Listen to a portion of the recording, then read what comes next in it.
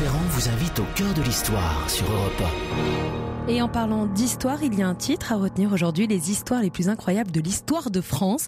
C'est le titre de l'ouvrage que vient de faire paraître Frédéric Gersal chez Albin Michel.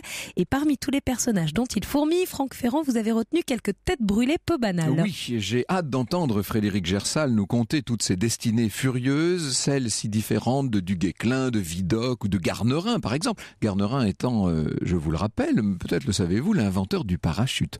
Pour commencer, je vous propose de revivre l'incroyable destin du jeune homme qui, au temps de Charles X, a découvert la cité des mystères, Tombouctou. Il s'appelait René Caillé et il se trouve mis à l'honneur dans un musée sur l'île d'Aix. Oui, le musée africain de l'île d'Aix où nous nous rendrons tout à l'heure en compagnie de Lorena Martin. Puis nous reviendrons aux origines d'expressions potagères comme la fin des haricots ou la course à Mmh. l'échalote. Quelque chose me dit que l'érudition de Frédéric va nous être bien utile dans cette affaire. Pour le moment, cap sur Tombouctou. La première de nos têtes brûlées du jour s'appelle donc René Caillé, s'appelait René Caillé. Il était originaire de Mosée-sur-le-Mignon, en Charente-Maritime. Il a été maire d'un petit bourg, Champagne, pas loin de Pont-l'Abbé d'Arnoux, où il a été inhumé euh, trop jeune, à 39 ans. Autant dire que c'est à un poids de vin que nous avons affaire, et euh, ce n'est pas Frédéric Gersal qui s'en plaindra, ni votre serviteur, ai-je besoin de vous le dire. Alors notre histoire commence sous l'Empire, un peu comme un récit d'aventure destiné aux enfants. Vous savez, ces belles histoires hein, qui commencent, il était une fois, il était une fois un petit garçon de 12 ans qui s'appelait René et qui venait de perdre sa pauvre mère. Ah oui, c'est un conte du 19e siècle, forcément.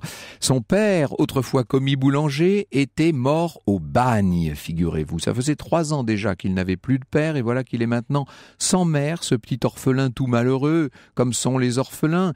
Il vit chez sa grand-mère à Mosée, en Onis, et il va chercher sans doute à noyer son chagrin dans les livres d'aventure. Les copains à l'école l'ont surnommé Robinson, c'est vrai qu'il a toujours un côté comme ça, il est très indépendant, il est de ceux qui savent se débrouiller, il a lu, relu jusqu'à plus soif les aventures de Robinson et celles d'un certain nombre d'autres euh, aventuriers, au point de les savoir par cœur, et à l'école, il se passionne pour la géographie. Et quand j'ai la géographie, pour lui, surtout les horizons euh, vers lesquels il tente de constamment s'évader, ce sont des horizons africains.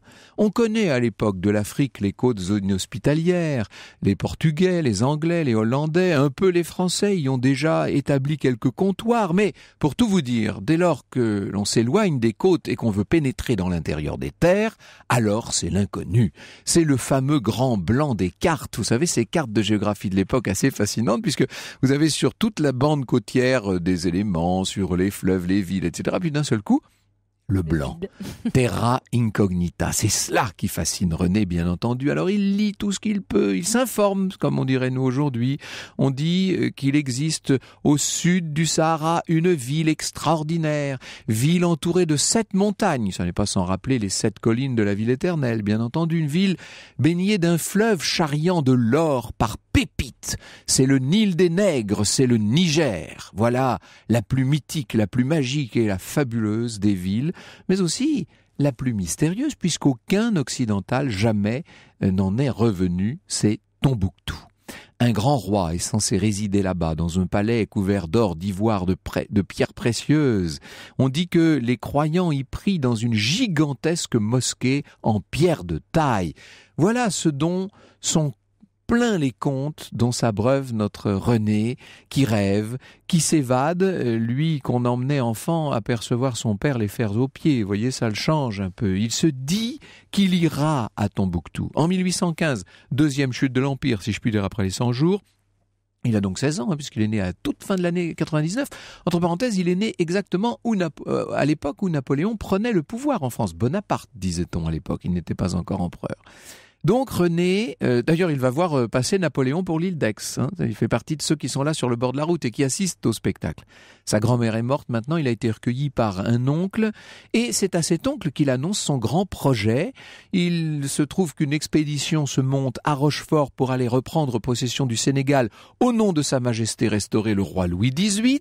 C'est le fameux traité de Paris, vous savez, qui est une des conséquences du traité de Vienne et eh bien, alors, on la connaît, cette expédition, puisque vous savez que c'est euh, euh, parmi les navires figure la frégate La Méduse, cette méduse qui va faire naufrage et dont les rescapés euh, survivront tant bien que mal, et plutôt mal que bien sur l'affreux radeau de la Méduse. Bon, eh bien, c'est cette expédition-là à laquelle va vouloir s'agréger euh, René.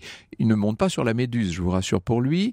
Le 27 avril 1816, il quitte donc son bourg, il a 16 ans et demi, et voilà que le 10 juillet, il est à Saint-Louis du Sénégal, découvrant les pittoresques installations qui ont installé les, Français. Il apprend qu'une expédition anglaise est en train de se monter pour le centre de l'Afrique. Sauf que l'expédition en question, elle va partir de la Sierra Leone, c'est-à-dire à 300 kilomètres de là. Et bien qu'à cela ne tienne, euh, René va les parcourir. Il est convaincu qu'il peut le faire.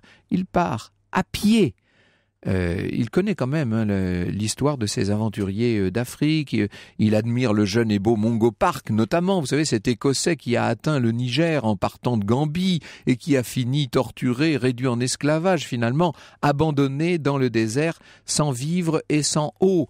Il a sans eau, hein, pardon. Il a euh, entendu parler de, l'anglais Nichols qui a succombé à la maladie, de l'allemand Rödgen von Neuwild qui a péri massacré par les gens de son escorte.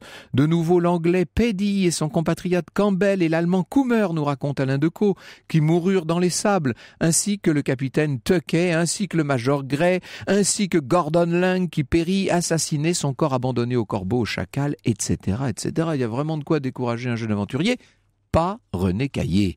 Il atteindra Tombouctou, il y vivra, il en reviendra, se dit-il. Et pour le moment, le voilà donc en route pour la Gambie. Il marche sous ce soleil cuisant, archi-brûlant, s'écroule souvent épuisé, les pieds en sang. Il sera finalement recueilli à Dakar par des marins français, dont un officier lui explique, lui explique que jamais il n'arrivera en Gambie. Ce n'est même pas la peine d'essayer. C'est au-dessus de ses forces. Il faut savoir de temps en temps renoncer lorsque ça paraît impossible. Alors que va-t-il faire? Eh bien, il s'embarque pour la Guadeloupe, figurez-vous. Ça change tout, bien entendu. Ça ne l'empêche pas de continuer à penser toujours à l'Afrique. Il rentre à Bordeaux. Il va aller revoir Mosée sur le Mignon et retrouver sa sœur Céleste. Il en profite pour lui emprunter les 300 malheureux francs qu'elle avait pu faire d'économie et par repartir pour Saint-Louis du Sénégal. Et quand il débarque pour la deuxième fois à Saint-Louis du, Sénégal, il, apprend que l'expédition anglaise de, de euh, est en panne complètement dans le Bondou. Euh, les expéditionnaires britanniques sont otages d'une espèce de roitelet local qui exige une rançon. Il y a eu un envoyé de Grec, qui est un métis, hein, il s'appelle Partarieux, euh, qui est là pour réunir la fameuse rançon et pour pouvoir aller libérer ses camarades. Et à ce moment-là, René Caillé se dit que c'est la plus belle des occasions. Il va partir avec lui, il va retrouver Gray, il va pouvoir s'enfoncer dans le cœur sauvage et inconnu de l'Afrique. Franck Ferrand vous conte l'histoire sur Europe 1. Alors cet après-midi, Franck, vous nous emmenez au cœur de l'histoire de René Caillé. C'est un explorateur français connu comme le premier occidental à revenir de la ville de Tombouctou au Mali et vous allez nous faire vivre cette, cette euh, expédition. Juste avant, j'aimerais bien savoir, Franck, si c'était commun qu'il y ait une fièvre euh, de l'Afrique comme ça au début du 19e Vous savez, ça fait partie des grandes terres à explorer et on a compris au 19e siècle l'extrême richesse, notamment euh, minière, de, de, cette Afrique. Et donc on essaie euh, par tous les moyens de, de la connaître, de l'explorer. Alors ce sont les Anglais qui sont très en avant dans l'affaire. Hein. Je vous ai parlé de Peddy, de, de Campbell, mm. de, de Tuckey, il y en a un certain nombre. Il y a également Clapperton qui n'arrivera pas à, atteindre le, le Niger, ni ton Tombouctou d'ailleurs, Baudich qui mourra de la fièvre sans aller plus loin que, que la Gambie. Et puis alors il y a des Allemands, hein, je vous ai, je vous ai parlé de, de Kummer tout à l'heure, des Italiens comme Bolzoni euh, qui meurent de la fièvre à, à gâteau, des Français je pense à Beaufort notamment, mais ça, Beaufort, je vais en reparler dans un instant parce que ça concerne directement euh, René Caillé, qui donc a l'intention de partir avec euh, notre partarieux là, qui a été envoyé par Gray. Vous savez, Gray a besoin de réunir une rançon pour libérer son expédition des griffes d'un roitelet local. Il envoie donc Partarieux et c'est avec Partarieux que repart donc René Caillé. Mais dans des souffrances inouïes, encore une fois, ils sont mal équipés et on, on voit René dépérir à vue d'œil Ils rejoignent finalement l'expédition Grey. Seulement, le ravisseur, là, le roi local, revient sur sa parole. Il leur interdit d'aller plus loin. Bref, il faut rebrousser chemin. Et c'est une retraite qui va tourner à la déroute. Fièvre, ulcères, maladies de toutes sortes vont euh, s'abattre littéralement sur les pauvres malheureux. Euh, lorsqu'il rentre à Saint-Louis, René est plus mort que vif. Il va rester là euh, quelques mois. D'ailleurs, il est euh, cuisinier sur des chantiers. C'est une vie extrêmement rude avant laquelle il décide de reprendre le bateau pour la France pour Bordeaux et c'est d'ailleurs de Bordeaux qu'il va repartir, si je puis dire, parce qu'il va travailler à partir de là pour une maison de négoce bordelaise et faire pas mal d'aller-retour aux Antilles. Euh, ce qui, est une route maritime beaucoup mieux maîtrisée, même si paradoxalement elle est plus lointaine. Au fond de lui, René Caillé n'a pas oublié ses objectifs. Il veut atteindre Tombouctou, il veut y survivre, il veut en revenir. Et voilà donc en 1824, il est de retour au Sénégal pour la troisième fois. Il demande audience au gouverneur, qui est le baron Roger. Et le baron Roger lui dit, mais mon ami, tout cela ne va pas du tout. C'est vrai qu'une expédition se prépare, celle du français euh, Beaufort, mais il n'est pas question du tout que vous que vous que vous, vous en mêliez. Et euh, René Cailly dit de toute façon Beaufort va échouer. Et je vais vous dire pourquoi il va échouer, gouverneur. Il va échouer parce qu'il a trop de montures, parce qu'il a trop de marchandises, parce qu'il a trop d'hommes. Il est trop lourd pour s'avancer dans l'intérieur du continent. La grande idée de René Caillé, c'est de faire ce chemin-là tout seul, c'est d'être le plus léger possible. Vous savez, c'est un des secrets des aventuriers, s'alléger pour aller plus loin et pour percer davantage l'inconnu. Puisque la force ne marche pas, il faut user de ruse. Le baron Roger se carre dans son fauteuil, il se dit que décidément ce gamin est audacieux, qu'il est très intelligent. Euh, mais comment allez-vous faire lui demande-t-il. Oh, mais c'est très simple, euh, répond René Caillé. Je vais infiltrer les morts, je vais apprendre leur langue et leur religion. Je vais me présenter comme le fils d'un négociant français qui aurait été euh, enthousiasmé par le Coran et qui serait désireux de se convertir à leur foi, qui serait désireux de se convertir à l'islam. Vous jouez un jeu risqué, mon jeune ami, dit le gouverneur, seulement René n'écoute rien. Lui n'a qu'une chose en tête, atteindre, vivre, revenir.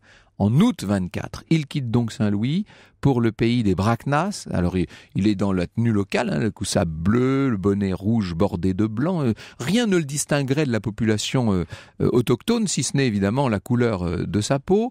Il arrive à convaincre le roi des Bracnas de le de, de l'instruire ou de le faire instruire par son marabout. C'est comme ça qu'il va devenir bon musulman. Il prend le prénom d'Abdali, il est l'esclave de Dieu désormais, et en avril 25, on peut dire qu'il parle couramment arabe.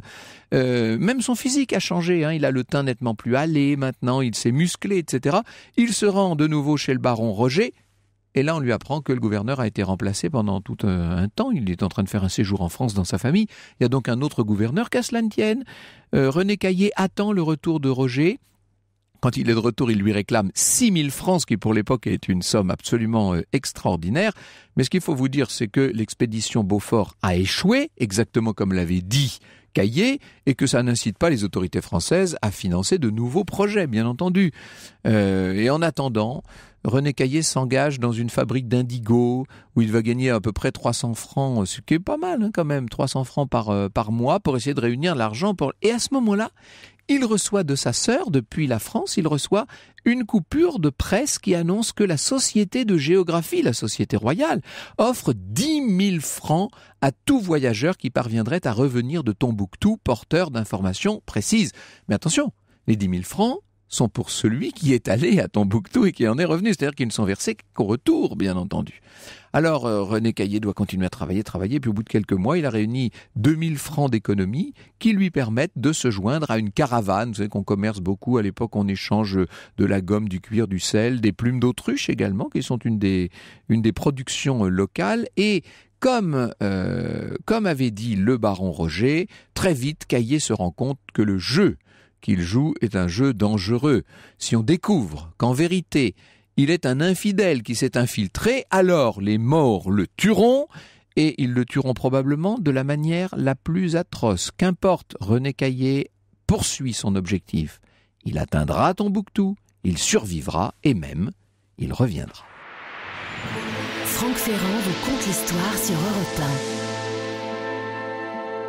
alors, vous nous faites découvrir aujourd'hui la vie de René Caillé, cet explorateur français connu comme le premier occidental à revenir de la ville de Tombouctou. Vous nous l'avez dit en tout début d'émission. Pour l'instant, il n'est pas encore parti et il y a peut-être 10 000 francs à la clé. Eh oui, il y a 10 000 francs de la Société de géographie, ce qui n'est pas rien. Eh et oui. René Caillé a très bien compris qu'il fallait qu'il invente une histoire beaucoup plus euh, précise que ce qu'il avait Mm. imaginé. Donc il, il imagine, il, il raconte aux gens qu'il est né à Alexandrie de parents arabes, qu'il a été ramené en France par euh, l'expédition de Bonaparte, euh, que euh, il est devenu esclave, qu'on l'a affranchi alors qu'il passait au Sénégal, et qu'à ce moment-là, il a décidé de retourner en Égypte pour y pratiquer sa foi et pour y retrouver sa famille. Vous voyez, c'est déjà plus, c'est déjà plus sympathique, si je puis dire, comme histoire, et ça convainc en tout cas le chef d'une caravane, caravane de chameaux, ai-je besoin de vous le dire, et c'est avec eux euh, que part donc René Caillé le 19 avril 1827. Euh, si vous comptez bien, ça veut dire qu'il a 26 ans. Euh, alors il va partir avec cette caravane, il en rencontrera d'autres. Je ne vais pas rentrer dans tous les détails, parce que ce serait vraiment euh, très long. Et il est atteint à un moment du scorbut, il va devoir euh, se soigner.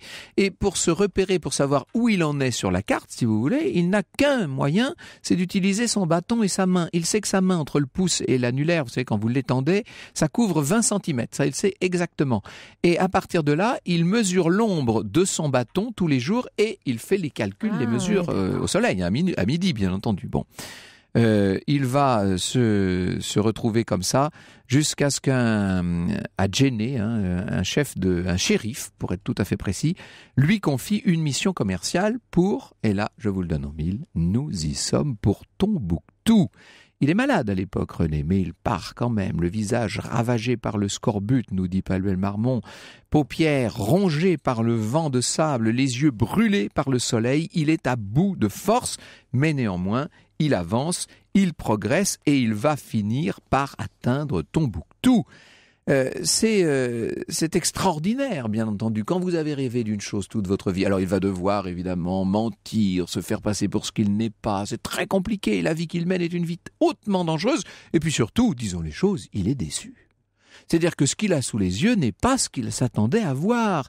Je trouvais que le spectacle que j'avais sous les yeux ne répondait pas à mon attente, écrira-t-il plus tard dans cette relation de voyage qui fera sa fortune. Je m'étais fait de la grandeur et de la richesse de cette ville une toute autre idée. Elle n'offre au premier aspect qu'un amas de maisons en terre, mal construites. Dans toutes les directions, on ne voit que des plaines immenses de sable mouvant, d'un blanc tirant sur le jaune et de la plus grande aridité. Tombouctou n'est somme toute qu'une ville africaine entre le fleuve et le désert, euh, rien à voir avec les richesses qu'il s'attendait à, trouver. Il monte euh, au sommet de la tour de, la grande mosquée pour mieux l'observer cette euh, cette ville. Il la dessine d'ailleurs parce que il dessine admirablement Caillé. Il aime ces maisons anciennes aux fenêtres travaillées, aux portes embellies de clous. Il aime ces, ces poutres qui ressortent des murs, vous savez, et qui les hérissent selon le style bien particulier de, de, de la région. Alors vous allez dire, il va rester combien de mois, combien d'années à Tombouctou? Non, non, 14 jours. Ah oui, en effet. Et au bout de 14 jours, il décide de repartir pour la France. Et alors là, j'ai sous les yeux la carte du voyage de René Caillé, et ça, c'est tout simplement extraordinaire ce qui se passe. C'est-à-dire que il remonte, remonte, remonte, remonte vers le, vers le Maroc. Vous savez, c'est un, c'est un immense voyage nord-sud, tout droit, selon ce qui deviendra d'ailleurs la ligne plus tard de la frontière de la Mauritanie. hein. Il monte, il monte, il monte, il monte comme ça, jusque au Maroc. Alors, ça va être, euh, ça va être très compliqué. hein. J'étais sans cesse en but aux railleries des autochtones, dit-il, méprisant, encouragés par mon silence et ma résignation, ils excitaient des esclaves à les imiter. Ils leur donnaient des branches garnies d'épines pour me les mettre devant les yeux. D'autres fois, ils prenaient un petit morceau de bois et leur conseillaient de me passer ce morceau au nez, comme on fait avec les chameaux. Euh, il a la hantise d'être découvert, évidemment, mais finalement, il parviendra. Le 12 août 1828, il est à Fès. Le 15 août, à Meknès, et puis Rabat, etc., et Tanger. Et comme ça, il a parcouru en 538 jours quelques 4500 kilomètres. Le 8 septembre, il est au consulat général à- au Maroc.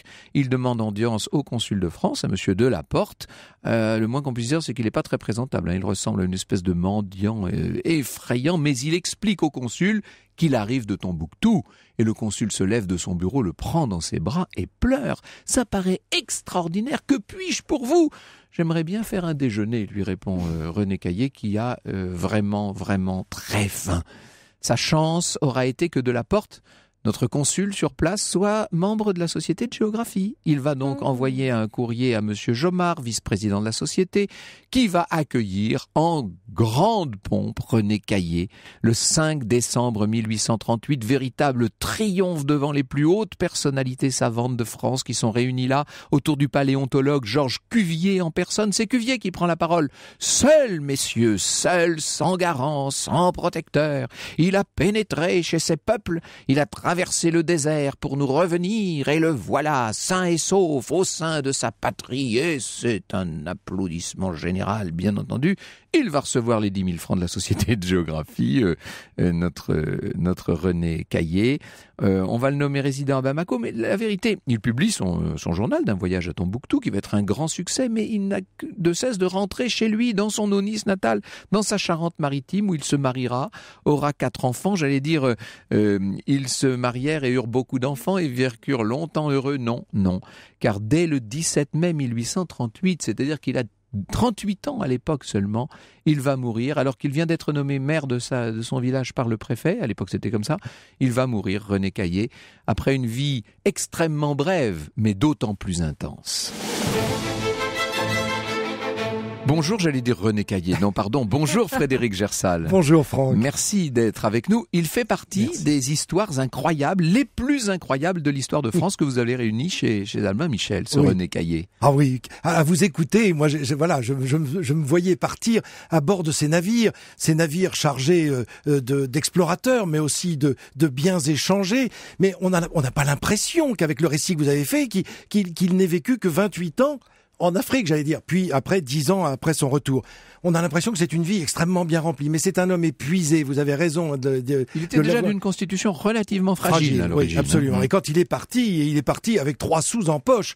Là, vous l'avez rappelé dans ses expéditions. Puis il, il a traversé l'Atlantique. Mais ce tombe, c- cette ville de Tombouctou, c'était quoi? C'était la ville aux portes d'or. C'est comme oui. ça qu'on on en Il y parlait. avait un côté Eldorado, forcément. Complètement. Et on disait 100 000 personnes à l'intérieur. Et vous l'avez rappelé, c'est une petite ville, pour pas dire un gros village qu'il découvre. Et c'est une vraie déception, d'où sa présence que seulement 14 jours à l'intérieur de ce rêve d'enfant. On a l'impression que c'est la déception qui le fait Il y a un rentrer. petit côté tout ça pour ça, mais après tout, le but est peut-être dans le chemin et dans l'extraordinaire euh, volonté qu'aura manifesté René Caillé, qui a triomphé de tout, tous, tous les obstacles, y compris la maladie. hein. Il a été malade presque sans discontinuer pendant les, années qu'il passe en Afrique. Avec un seul but, celui de ce- cette enfance rêvée, ce Robinson Crusoe qu'il avait lu, là, ce, ce fameux livre de Ah, il, Defoe. il voulait atteindre Tombouctou, Ouais. il l'a atteinte. Ouais. Il voulait survivre, il a survécu, que je sache. Et il est bel et bien rentré puisqu'il a obtenu les suffrages de la Société de géographie et du tout Paris qui, qui en a fait un héros pendant Oui. quelques semaines. Ça n'a pas duré très longtemps, Ça évidemment. commencé. Alors, donc, mais ce qu'il y a surtout, c'est que euh, vous, avez, vous avez eu raison dès le début de, bien appuyer sur le fait qu'il en est revenu. Parce que ça n'est pas le premier à avoir pénétré, à être entré dans Tombouctou. Mais les autres ne sont jamais revenus vivants. Et ce- cette carte que nous avons hein, sous les yeux montre l'espèce de boucle qu'a faite euh, René Caillé qui part de de, Saint-Louis. On est c'est, c'est toute la partie ouest de l'Afrique. Vous savez le, le gros nez euh, occidental de l'Afrique là.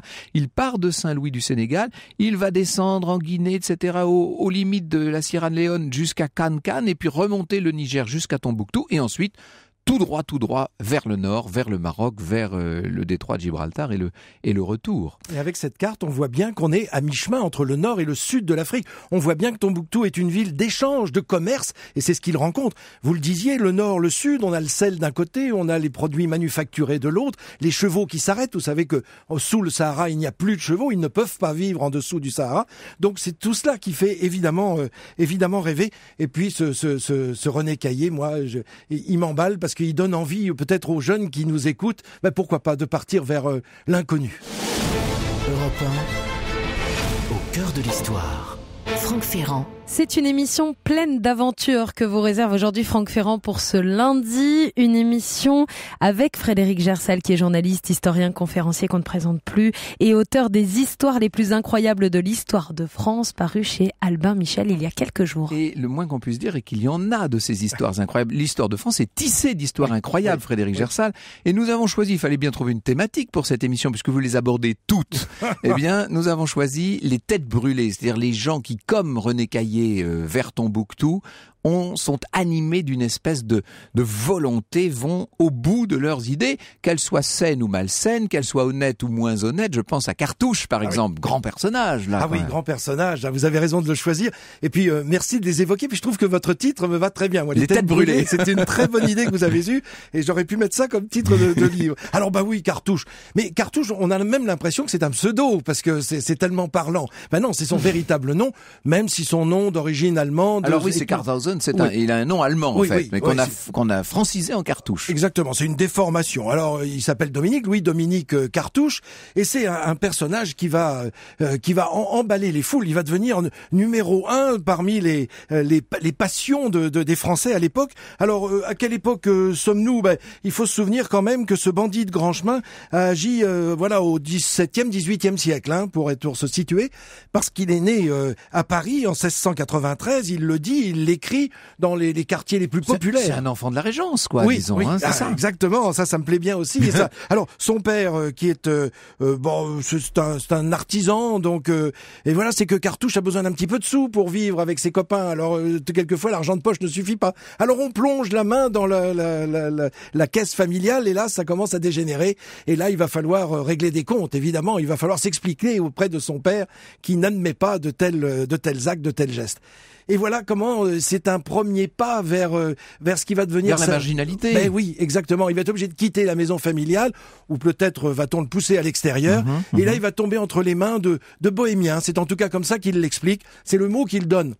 Mais il faut pas prendre bohémien, faut faut le prendre euh, comme comme on le prenait à l'époque, c'est-à-dire des gens euh, venus euh, presque d'Égypte. Hein, c'était c'était ça l'origine des bohémiens qui passaient par l'Europe et qui du terme des gypsies. hein, oui, hein. exactement. On est dans la même dans la même famille. Et puis là, il va apprendre, bah, il va apprendre la malversation, il va apprendre les mauvais coups, et c'est à son tour qu'il va devenir chef d'équipe. Mais il, est, il a d'abord un charisme hors du commun qui fait de lui un meneur d'hommes naturel, et puis une intelligence, et lui aussi, dans un registre euh, sans doute un peu moins noble que René Caillé, mais lui aussi une très grande persévérance. C'est ça, c'est un peu le fil conducteur de cette émission. Ce sont des gens qui ont chevillé au corps une idée. Or, l'idée de Cartouche, c'est en quelque sorte de rétablir l'équilibre. Il y a un côté un peu Robin des Bois chez, cet homme-là. mais euh, mais en, en fait euh, jusqu'à un certain point parce que il, il ne reverse pas tout ce qu'il gagne. Non, loin hein, de là, loin de là. Donc donc c'est là où le, co- le, le- le côté Robin des Bois s'arrête. Oui. C'est le moins qu'on puisse dire. Mais vous avez raison, sa persévérance fait que ce meneur d'hommes ben, va euh, va voir des hommes s'agréger autour de lui, mais par dizaines, par centaines. C'est une équipe absolument incroyable Eh oui, qui mais se une équipe tellement nombreuse qu'on ne peut pas en contrôler tous les membres, et c'est ce qui le fera- finalement le fera tomber, c'est Et- que quelqu'un va le vendre littéralement à la police. hein. Sa fin est horrible, la Alors fin oui, la fin est épouvantable alors qu'il est encore très jeune hein, et qu'il le, le bourreau va il va avoir les os rompus comme on le comme on le disait à, à l'époque. C'est déjà euh, ce bourreau, c'est déjà un de la C'était famille. le supplice de la roue. hein. Oui, c'était absolument. Et c'était un Samson hein, déjà qui était à l'œuvre. Alors euh, plutôt que euh, moi j'avais un rapport avec Arsène Lupin que je trouvais avec euh, Cartouche parce que il avait fait un plan extrêmement efficace et extrêmement précis des toits de Paris pour essayer de s'échapper le plus vite possible après chaque larcin, Mmh. Il après a chaque cru jusqu'au bout qu'il serait sauvé, mais il l'a pas Oui. été finalement. Oui, alors c'est-à-dire qu'il a été vendu, vous l'avez rappelé, donc il s'est, il s'est fait arrêter, jugé, euh, on l'a travaillé au corps pour avoir euh, des, des réponses, pour avoir oui, des oui, noms. Il a donné beaucoup de noms, mais après seulement. C'est-à-dire qu'il a cru, au moment où on l'emmenait vers le vers l'échafaud, il a cru que ces hommes allaient le sauver. Ils ne sont jamais venus. Du coup, il a vendu tout le monde. Vous parliez du personnage de Maurice Leblanc d'Arsène Lupin à l'instant. Je signale qu'il y a un chapitre consacré à Marius Jacob, à Alexandre. Marius Jacob, hein, dans votre qui est le vrai Arsène Lupin en Oui, quelque sorte. alors, alors a-t-il été vraiment, euh, a-t-il donné l'idée à, à- à Leblanc de décrire euh, ce personnage, de le décrire? Peut-être. En tout cas, le, le, le- le- la justice était en train de frapper à Amiens au moment en 1905, au moment où il commençait à écrire son histoire d'Arsène Lupin. Une autre personnalité euh, dont le moins qu'on puisse dire est qu'elle est qu'elle a euh, flirté avec euh, la avec la malhonnêteté, mais qui était un peu à cheval sur la frontière entre le bien et le mal d'une certaine manière. C'est Vidocq. Oui. Hein, Puisqu'on parle de tête brûlée, Vidocq en est une. Ah là, oui, vraiment. alors quel parcours Alors là, alors je suis pas persuadé là pour aller un petit peu à contresens de ce que vous disiez. Je suis pas persuadé qu'il ait toujours voulu entrer dans la police. Pas au début en tout cas, parce que c'était vraiment euh, une, une volonté de, de, de son côté de bah, d'entrer dans le grand banditisme. En tout cas, il a glissé comme cela euh, tout doucement. Il est né à Arras hein, en, en 1775. Je redonne juste l'année toujours parce que on- ça nous permet de le resituer sur la grande frise de de l'histoire. Et bah, ce qui, il va va, il va se mettre à dos son père. Il va à son tour ben, faire un petit peu de prison parce que son père n'hésite pas à l'envoyer en prison en se disant ça va peut-être le gendarmer un petit peu. Et, et, puis il va finir bagnard. En tout cas, la prison va l'emmener jusqu'au bagne. Et là, c'est on peut, on pouvait pas aller plus bas, plus bas, descendre plus bas dans la, dans le, dans l'horreur de la prison parce que le bagne c'est une épouvante. Il va s'en, s'en échapper. Et il va rencontrer un commissaire à Lyon et il va lui dire voilà si vous me laissez la ça liberté. Ça fait penser à une certaine œuvre de la littérature, ce que vous racontez là, bien sûr. Hein. Bien sûr. Alors, vous savez qu'en plus, euh, euh, ce, commissaire va être euh, va être surpris de cette question. Laissez-moi entrer dans la police et je vous apporterai les plus gros poissons. Euh, ça va permettre de ram ramener le calme dans la ville de Lyon. Il hésite et puis il lui dit, bah, écoutez, faites-moi faire prisonnier, je reviens dans un quart d'heure. Et c'est ce qui s'est passé. On est venu l'arrêter. Un quart d'heure plus tard, il était à nouveau dans le bureau du commissaire qui lui a dit, c'est comme si lui laissait les clés, si vous voulez. Donc, euh, et c'est vrai qu'il a fait, il a ramené le, la tranquillité. Et ça deviendra un grand policier. Mais oui. C'est oui. ça qui est assez extraordinaire. Et il est parti à Paris. Enfin, il a suivi ce commissaire à Paris qui l'a nommé. Et là, il a créé la sûreté. Et euh, c'est pour ça que c'était euh, tentant de, de, faire un lien avec euh, avec Bonaparte, avec Napoléon. C'est même Napoléon puisque nous sommes en 1807. Et il crée cette police de sûreté. Et il va rester à la tête de cette police. C'est lui qui démissionnera hein, 20 ans plus tard. Oui, c'est-à-dire qu'il démissionne exactement à l'époque dont nous parlions à, à l'instant avec René Caillé sous le règne de, de Charles X, auquel euh, euh, le moins qu'on puisse dire est qu'il a le plus grand mal à se subordonner. De toute façon, c'est un insubordonné par essence. Oui. Ou par naissance. Ou par naissance, hein, oui, c'est presque, vrai. Oui, absolument. Voilà, voilà, ces fameuses têtes brûlées. Alors là, pour l'instant, nous avons eu affaire à des terriens, si Oui. je puis dire. Euh, Il y en a un qui prend les airs. Et dans un instant, nous évoquons un grand pionnier. C'est l'inventeur du parachute, c'est Garnerin. Europe 1 au cœur de l'histoire. Franck Ferrand. Et Franck Ferrand est plongé dans le dernier livre de Frédéric Gersal, intitulé Les histoires les plus incroyables de l'histoire de France, paru chez Albin Michel il y a quelques jours. Et vous recevez le journaliste, historien, conférencier, auteur de ce livre qui nous fait découvrir quelques têtes brûlées de l'histoire, dont l'inventeur du parachute. Eh oui, Garnerin. Vous savez, il y a euh, auprès de 100 chapitres dans ce livre. Ah hein, oui, il y a énormément du monde. d'histoires incroyables, deux personnages donc Mhm. remarquables. Euh, Je n'ai retenu moi que les têtes brûlées et parmi ces têtes brûlées, il faut encore faire une sélection parce que c'est fourmillant bien entendu votre approche euh, Frédéric Gersal. Alors, Merci, Franck. ce Garnerin, euh, je dis l'inventeur du parachute. Certains dans l'Antiquité avaient déjà eu l'intuition du parachute et puis Léonard de Vinci bien entendu. Hein.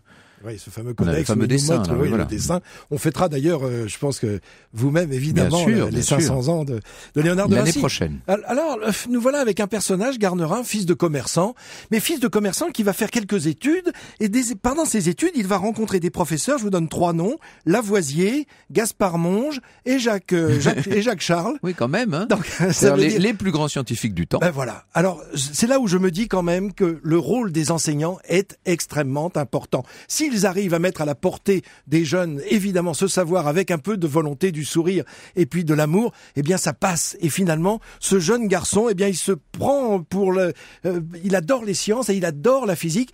Et du coup, il se rapproche énormément de Jacques Charles. Alors, qui est Jacques Charles? C'est un physicien qui a travaillé en même temps que les deux frères Montgolfier. Les frères Montgolfier proposent un ballon à air chaud, c'est-à-dire qu'on fait brûler de la paille, ça fait de la chaleur, on met tout ça, euh, la chaleur monte dans le ballon et ça s'envole.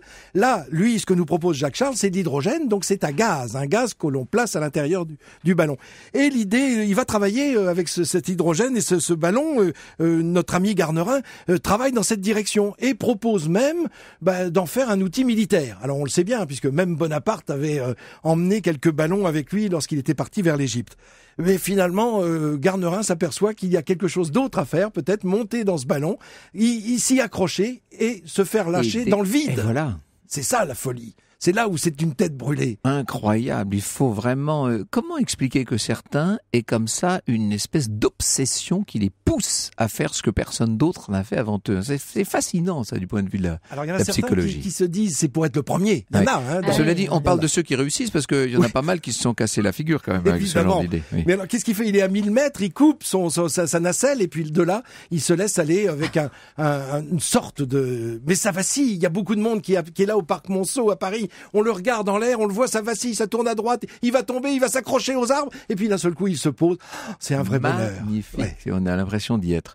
Euh, on aurait pu parler, euh, parmi les têtes brûlées des airs, si je puis dire, puisque nous sommes passés de la terre aux airs, on aurait pu parler de Roland Garros, dont j'ai eu l'occasion d'évoquer longtemps et souvent les exploits ici même. Georges Guilmer, bien entendu, grand héros de la Grande Guerre, hein, l'as des as, d'une certaine manière. euh, bon, mais partons peut-être euh, du côté des mers pour évoquer une dernière figure. Il y en aurait tellement de toute façon qu'on ne sait même plus lequel choisir, mais il y en a un qui, au, au nombre des têtes brûlées, me paraît euh, devoir occuper l'une des premières places. C'est le fameux Surcouf, Robert Surcouf. Robert Surcouf, un malouin. Alors dès qu'on dit euh, un malouin, on est sûr que ça, veut être, ça, va, ça, va, ça va être un marin. Ils sont tous tournés vers l'océan. Je ne connais pas de malouin qui n'ait pas envie de grimper dans un bateau et partir à la découverte des océans. Et Surcouf en fait partie, évidemment. Mais voilà, lui, il a choisi une autre branche, pirate, corsaire. Vous l'avez déjà évoqué, on ne confond pas les deux. Le pirate travaille pour lui-même, le corsaire travaille pour, l'État. Il oui. a une lettre de course, si je puis dire. Enfin, c'est une lettre de marque, Mhm. et c'est avec la course qu'il va s'enrichir. Et lui, il va partir vers l'océan Indien. Il va se battre contre les, les Anglais, et surtout, il va attirer l'œil et l'oreille de l'empereur, qui se dit mais ce type qui a tant de réussite sur les océans, j'en ai peut-être besoin moi de sur mes bateaux militaires. Il va le faire venir. Ils vont s'entendre, hein, comme larron en foire. Ils parlent la même chose. Ce sont des, des volontaires tous les deux, mais euh, Napoléon ne réussira pas à, à le, le prendre à ses côtés. Il préférera retourner à, à Saint-Malo et, de- et devenir à son tour. C'est euh, un armateur, en oui, fait, c'est un euh, armateur, absolument. fin, oui, bien sûr. oui, hein. tout à fait. Vous savez, il répondait à un Anglais qui lui disait "C'est curieux, vous les Français, vous vous battez toujours pour l'argent, et nous, on se bat pour l'honneur." Et Surcouf a répondu "On se bat toujours pour ce qu'on n'a pas." C'était beau ça. Ça, c'est, il faut la retenir. Celle-là, elle peut Ouais. servir à l'occasion. Elle peut être placée, effectivement. Merci beaucoup Frédéric Gersal. Euh, C'est quand même, euh, je suis très bien placé pour le savoir, n'est-ce pas? C'est quand même un incroyable réservoir que l'histoire de France, réservoir d'expériences, réservoir de moments très forts. Euh, ces histoires très incroyables que vous nous proposez, euh, elles sont de toute façon, bien que réelles, toujours plus fortes que la fiction. Ça, c'est quand même, euh, c'est presque un mystère finalement. Il y a des histoires parmi celles que vous racontez qu'on n'oserait pas imaginer parce qu'on aurait peur. Les gens diraient oh non, ce n'est pas possible. Eh bien, c'est tellement possible que c'est historique. Frédéric Gersal, les histoires les plus incroyables de l'histoire de France, c'est chez Albin Michel. Europe 1, au cœur de l'histoire. Franck Ferrand. Et pour cette émission consacrée aux têtes brûlées de l'histoire, nous étions en Afrique en tout début d'émission avec René Caillé. Nous allons y retourner avec Lorena Martin. Bonjour Lorena. Bonjour Franck. Alors, c'est un peu moi la tête brûlée en l'occurrence, puisque j'avais le souvenir étant enfant et adolescent d'avoir découvert, on peut dire, René Caillé grâce au musée de l'île d'Aix. Donc j'étais convaincu que c'était le musée René Caillé de l'île d'Aix. etc. Et Lorena, qui est allée vérifier tout ça de très près, bien sûr, me dit pas du tout. C'est le musée africain de l'île d'Aix où il n'est pas question de René Caillé. C'est bien ça. Apparemment, c'est en Ouais. tout cas c'est l'information qu'on Donc m'a soit j'ai rêvé, soit je sais pas. Bon, Mais on, on va donc direction la Charente-Maritime Mhm. cet après-midi où nous partons pour l'île d'Aix au large de, au large de Foura-les-Bains. d'île d'Aix, oui. Et c'est là qu'on prend le bac pour se rendre à la pointe de la fumée. Mhm. On débarque sur cette On peut île aussi d'Aix. prendre le bateau à La Rochelle. Oui. hein. Ce petit croissant de terre de 3 km de long sur 700 mètres de large qui est classé sur la liste des sites naturels remarquables. Et il y a donc ce musée africain qui existe depuis 1933. Et pourquoi un musée africain là? On le doit au baron Napoléon Gourgaud, Mhm. euh, arrière-petit-fils du baron Gaspard Gourgaud. baron Gourgaud, bien qui sûr. avait oui. été compagnon de Napoléon à Sainte-Hélène et au départ se trouvait le musée national napoléonien qui existe d'ailleurs toujours Mhm. aujourd'hui. Dans une belle dans maison qui a été refaite sous le Second Empire. hein. Donc et c'est la maison où Napoléon avait séjourné en 1815 avant de se rendre Mhm. aux Anglais et c'est d'ailleurs Napoléon lui-même qui avait ordonné la construction de cette maison et Napoléon Gourgaud apprenant par la presse que cette maison est dans très mauvais état et qu'elle aurait besoin d'être classée et sauvée, constitue très vite la société des amis de l'île d'Aix et achète cette maison pour la transformer en musée napoléonien et il se trouve que le baron est aussi amateur de chasse en Afrique et, Et qu'il voilà. se passionne pour l'ethnographie et les sciences naturelles Mmh. et décide donc, pendant qu'il est maire de l'île d'Aix dans les années 30, de créer ce musée. Il est installé dans d'anciens logements d'officiers de la garnison euh, de l'île d'Aix et le baron Gourgaud organise avec son ami donc plusieurs euh, expéditions euh, en Afrique et lors de ces chasses, il tue bien sûr de nombreux animaux, animaux que Roland Ward, l'un des plus célèbres taxidermistes de l'époque à Londres, va naturaliser. Et, donc certains on- sont magnifiques. Magnifique, Oui, on peut très voir encore tous hein. ces animaux Mm. naturalisés dans, dans ce musée. Un côté Norman Bates, un peu évidemment.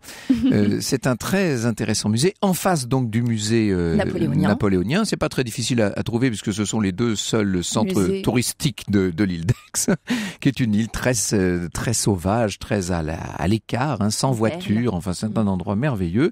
Euh, je me dis en réfléchissant que finalement, ce qui a dû se passer, c'est qu'il y a peut-être eu dans ce musée une exposition René Caillé. J'essaie de m'en sortir comme je Oui, peux. oui, oui, essayez de vous en sortir. Europe 1, au cœur de l'histoire. Retour aux origines. Vous êtes aussi plein d'imagination, pas, Franck, voilà. ne l'oubliez pas ça. Alors ce retour aux origines aujourd'hui est consacré aux expressions liées aux légumes de nos potagers. Allons bon. Par exemple, la fin des haricots ou les Oui. carottes sont cuites sont deux expressions qu'on utilise qui, est- qui évoquent euh, la façon ironique de, de parler de la fin du monde ou de la perte d'espoir. Dans les deux cas, l'explication Oh bah, est la même oui, ou pas, La Franck? fin des haricots, c'est assez simple. Vous savez, le, le haricot, c'est comme la- l'alimentation de base pour beaucoup de dans toutes les collectivités pendant longtemps, dans Ouais. l'armée, dans la, dans les dans les pensions aussi. Oui. Et quand on arrivait au bout, ben voilà, C'est qu'il qui à une époque Mm. étaient pleins de charançons. Je suis sûr que ça va rappeler des souvenirs à certains de nos auditeurs. Bref, et là on disait, il y a plus, c'est la fin des haricots. Bon, jusque là on peut comprendre. C'est ça fait référence, si vous voulez, au au, au cambuse hein, et, et à l'intendance de l'armée. Euh, pour ce qui est des carottes sont cuites, euh, moi je suis désolé, on a beau tourner ça dans tous les sens, je ne trouve pas d'explication convenable ou intéressante. Je pense simplement que ça, laisse, ça dit bien ce que ça veut dire. Ça veut dire que bah, c'est fichu, c'est fini. D'autant plus que la carotte, c'était ça faisait partie de ces racines qui, en période de, de disette ou de famine, étaient les dernières choses auxquelles on venait à, à, à se raccrocher. Il y a une autre expression, tiens, qui utilise aussi euh, des euh, légumes du potager, c'est la course à l'échalote, qui fait référence à une compétition dans laquelle tous les moyens sont bons pour remporter la victoire. Alors ça, ça oui. vient d'où ça? Bah, l'expression, oui, euh, en réalité, quand on parle d'échalote, on fait référence au derrière de son adversaire, pour tout vous dire. Ah la bon? course à l'échalote, ça veut dire courir très près de, de l'adversaire. J'allais employer une expression, mais qui serait tellement, hum, tellement malséante qu'elle ne vient pas sur Europe 1 à 15 heures, que voulez-vous? L'histoire sur Europe 1.